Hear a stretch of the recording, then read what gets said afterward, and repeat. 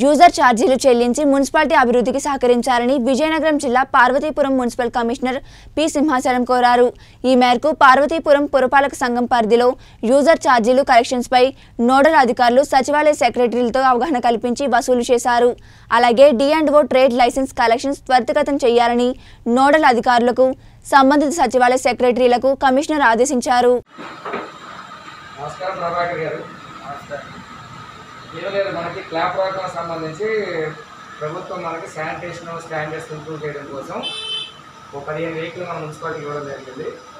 ఆ పదిహేను వెహికల్ కూడాను మనం ఎవ్రీ మంత్ కూడా ప్రతి ఇంటికి అలాగే ప్రతి కమర్షియల్ షాప్కి వెళ్ళి చెత్తను కలెక్ట్ చేసుకుని ప్రాసెస్ చేసే భాగంలో మనకి మనందరి పాత్ర ఉండాలనే ఉద్దేశంతో ప్రతి హౌస్ హోల్డ్స్ కూడా ఓనర్షిప్ రైట్ ఉండాలంటే వాళ్ళు ఖచ్చితంగా ఎంతో కొంత దాని మెయింటెనెన్స్కి అవసరమైన తనక అమౌంట్కి సంబంధించి ఒక ఫీజు మనం నిర్ణయించుకొని అది అందరినీ బాధ్యత చేయాలనే ఉద్దేశంతో ఈ క్లాప్ ప్రోగ్రాంలో అది ఆ యూజర్ ఫీ కలెక్షన్ అనేది పెట్టడం జరిగింది.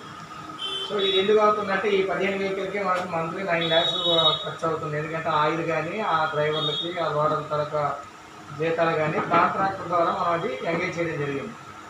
సో మరి దాని ఆ అమౌంట్ నైన్ ల్యాక్స్ కూడాను మనం టోటల్ హౌస్ హోల్డ్స్ ఎన్ని ఉన్నాయి? Households including commercial establishment కలిపి మనం దేని దేనికి ఎంత తయారు చేసుకొని కలెక్టర్ గెలిచి నోటిఫికేషన్ ప్రకారం మనం అది ఆన్లైన్లో దీన్ని జనరేట్ డిమాండ్ జనరేట్ చేయడం జరిగింది. సో కాబట్టి ఇది ఓవరాల్ స్టేట్ వైడ్ ఏ మున్సిపాలిటీ ఆ మున్సిపాలిటీ ఈ ఈ ప్లాట్ఫామ్లో భాగంగా ఆ డిమాండ్ జనరేట్ అయింది. ప్రతి నెల మనం అది కలెక్ట్ చేయాలి. సో ప్రభుత్వం కూడా ఏమంటుందంటే మాన్యువల్ కలెక్షన్ కంటే డిజిటల్ కలెక్షన్ అయితే ఎంకరేజ్ చేయడం వల్ల మనకి పని తగ్గుతుంది మనకి ఫెసిలిటీ పెరుగుతుంది వాళ్ళకి కానీ మనకు కానీ. సో ఆ విధంగా చేయండి అంటున్నారు అందువల్ల ఒక లింక్ కానీ దానికి ఒక యాప్ కూడా క్రియేట్ చేయడం జరిగింది.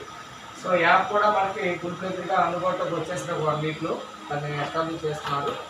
అందాక లింక్ ఇచ్చారు. ఆ లింక్లో మన అందరూ కూడా చేస్తే అది మనం ఆ ఫోన్ నెంబర్ని మనం క్లిక్ చేసినట్లయితే డిస్ట్రిక్ట్ సిటీ సిటీ తర్వాత ఫోన్ నెంబర్ కొడితే మన దాని డీటెయిల్స్ డిస్ప్లే అవుతాయి. దానిలో ఏ నెల మనం కట్టాలంటే అందులో క్లియర్గా చూపిస్తుంది. అది మనం క్లిక్ చేస్తే ఆటోమేటిక్గా అమౌంట్ మన అది జనరేట్ అయిపోతుంది కదా అది.